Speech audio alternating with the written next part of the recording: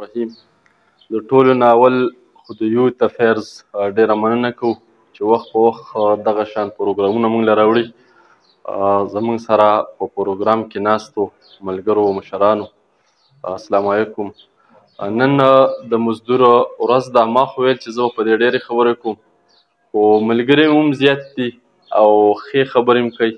نو زما دا خبرې چې دي نو دومره معیاري